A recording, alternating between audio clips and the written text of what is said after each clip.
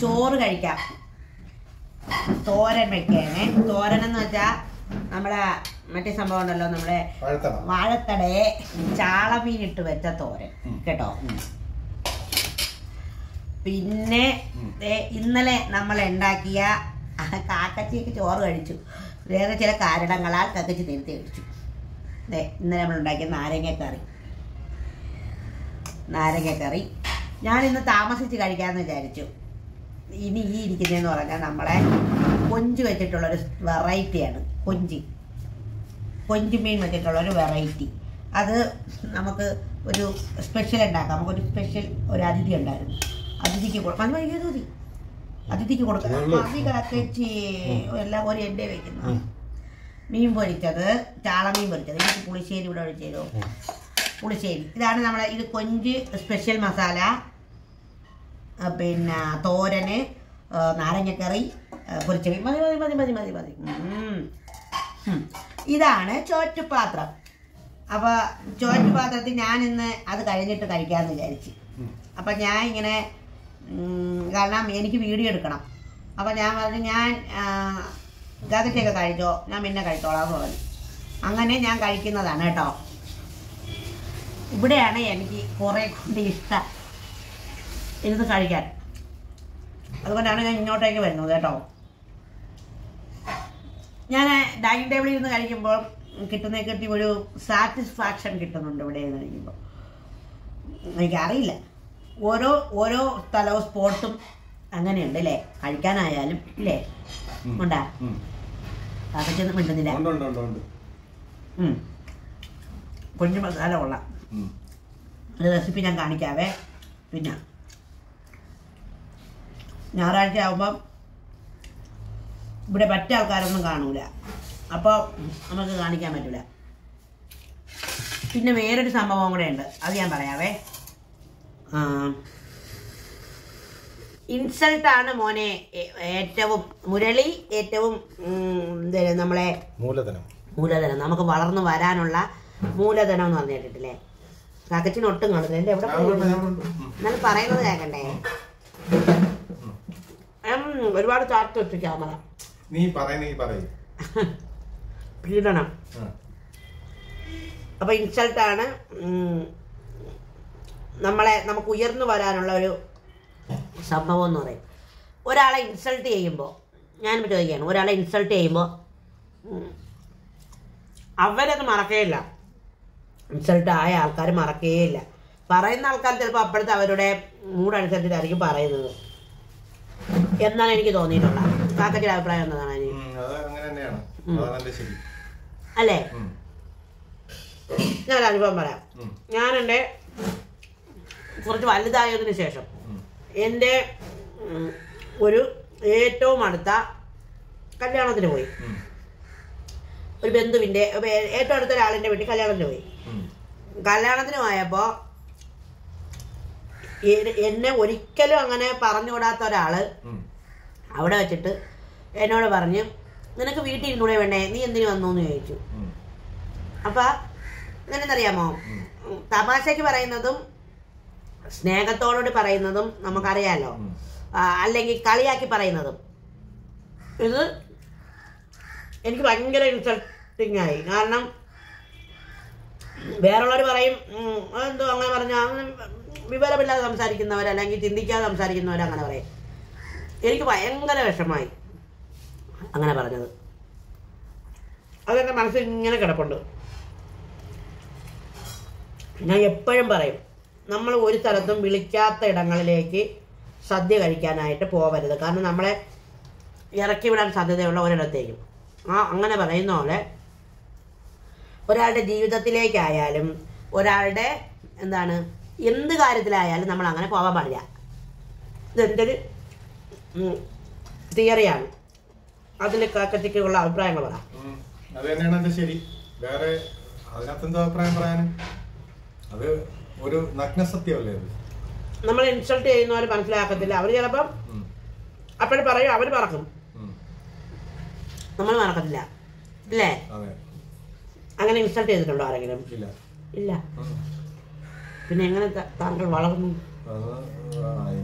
ഇങ്ങനെ ഒരു വലിയ ബിസിനസ്സുകാരനായി മാറി. എങ്ങനെയൊക്കെയോ വളർന്നു. ഒരു ബിസിനസ്സുകാരനായി എങ്ങനെ മാറി? ബിസിനസ്സുകാരനായി മാറിയെന്ന് തന്നെ എനിക്ക് സംശയമുണ്ട് ഇപ്പൊ. അത് പറ. സംസാരിക്കും. ഇതാണ് അതാണ് അതിന്റെ കാര്യം. ഇതാണ് അതിന്റെ ശരി എന്ന് പറഞ്ഞുകൊണ്ടിരിക്കാതെ. സംസാരിക്കേ. അല്ല ബിസിനസ്സുകാരൻ എന്ന് പറയുമ്പോഴത്തേക്ക് ബിസിനസ് മര്യാദയ്ക്ക് ബിസിനസ് ചെയ്യുന്നവരെ പൈസ ഉണ്ടാവും. അതാണ് മെയിൻ കാര്യം. അത് നമ്മളുടെ. ട്രാജഡി മൂലമല്ലേ? അല്ലേ?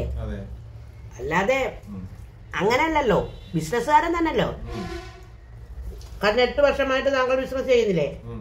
എട്ട് വർഷമൊന്നുമല്ല. ബിസിനസ് ചെയ്യുന്നത് നോക്കി കഴിഞ്ഞു കഴിഞ്ഞാൽ പത്ത് മുപ്പത്തഞ്ച് വർഷം കൊണ്ട് ബിസിനസ് ചെയ്യുന്നു. അതെ. ഓ ഇവ ഇപ്പൊ ചെയ്ത് എന്ത് നേടാനാണെന്ന് പറഞ്ഞാൽ എത്ര പേർക്ക് നല്ല ആഹാരം കൊടുത്ത് നിങ്ങൾ. എട്ട് വർഷമായിട്ട് നിൽക്കുന്നു. അല്ലേ?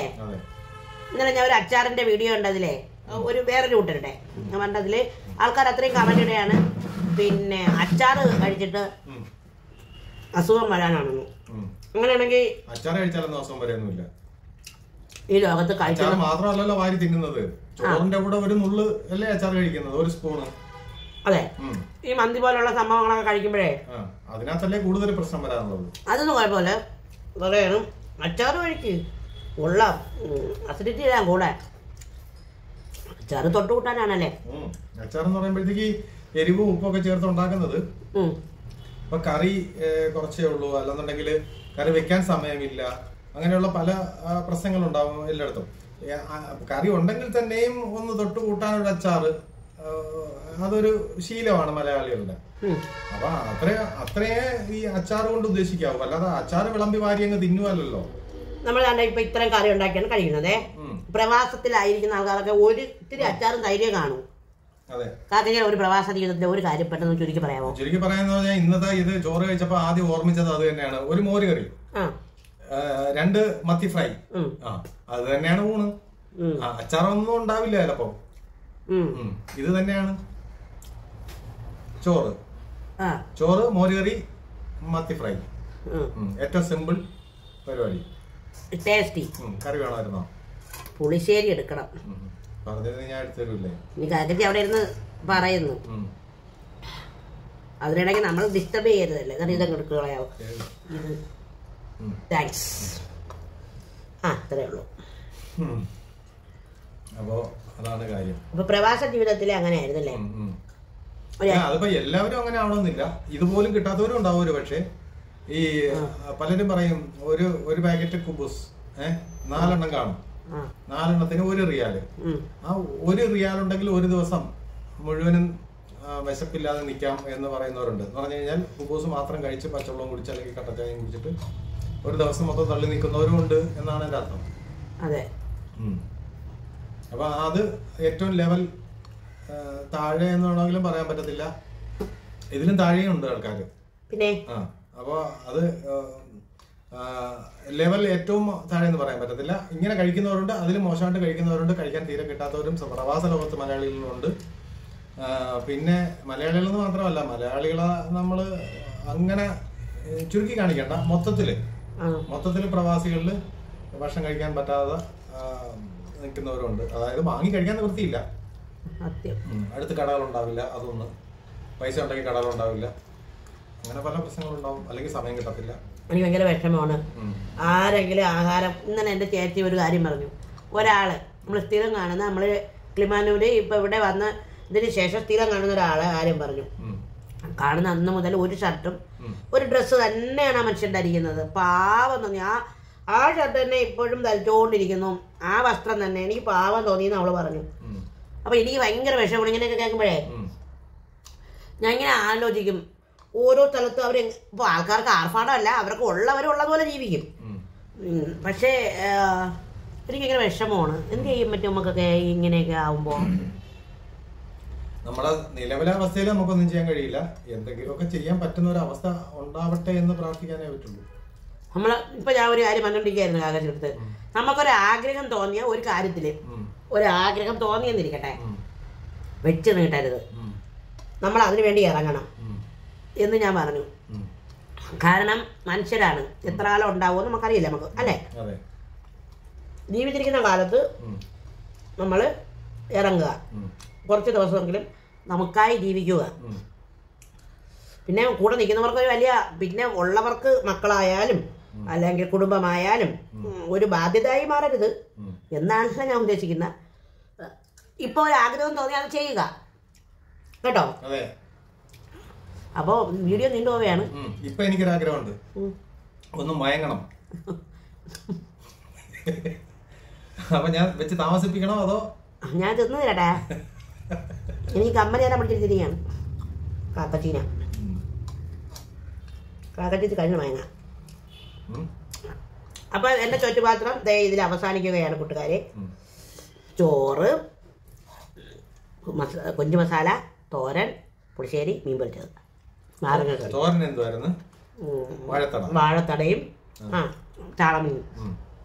അപ്പൊ നമ്മളിപ്പോ കുറെ നാളുകൊണ്ട് ഇവിടെ വാഴത്തട വാഴക്കൂമ്പ് പിന്നെ മുരിങ്ങയില ലാൻഡ് ഓണർ ഹൗസ് ഓണർ വാഴ ഇട്ടേക്കുന്നതുകൊണ്ട് അവരെ അവർ കൊല വെട്ടിക്കൊണ്ട് പോകുമ്പോൾ നമുക്ക് കിട്ടും കൂമ്പുമല്ല. അത് നമുക്ക് നല്ല കാര്യം.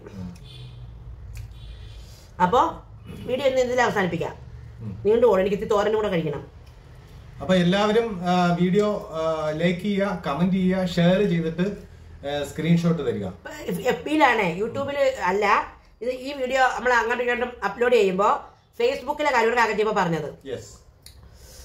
ഫോളോവേഴ്സ് അല്ലാത്തവർ എല്ലാവരും സ്ക്രീൻഷോട്ട് തരിക. ലോക്ക് ചെയ്ത് വെച്ചിട്ട് തരരുത്. ഇന്നലെ ആൻസി ആൻസിയാണെന്ന് തോന്നുന്നു. അവർ തന്നത് ഈ വീഡിയോ എന്ത് ചെയ്യും? വീഡിയോ അവർ ഓണാക്കും. ഓണാക്കിയിട്ട് അതിൽ നിന്ന് സ്ക്രീൻഷോട്ട് എടുത്തിടും. അങ്ങനെയല്ല നിങ്ങളുടെ ടൈം ലൈനിലോട്ട് ഷെയർ ചെയ്യുക അതിന്റെ സ്ക്രീൻഷോട്ട് എടുത്ത് തരിക. അത് മാത്രമേ നമുക്ക് സ്വീകരിക്കാൻ പറ്റുള്ളൂ. അപ്പോൾ മത്സരത്തിൽ പങ്കെടുത്തുകൊണ്ടിരിക്കുന്ന എന്റെ പ്രിയപ്പെട്ട എല്ലാ മനുഷ്യർക്കും ഒരുപാട് സ്നേഹം. അപ്പോൾ യൂട്യൂബിൽ മത്സരം നമുക്ക് വേറെ ആരംഭിക്കാം കേട്ടോ. അപ്പോൾ ടാറ്റാ!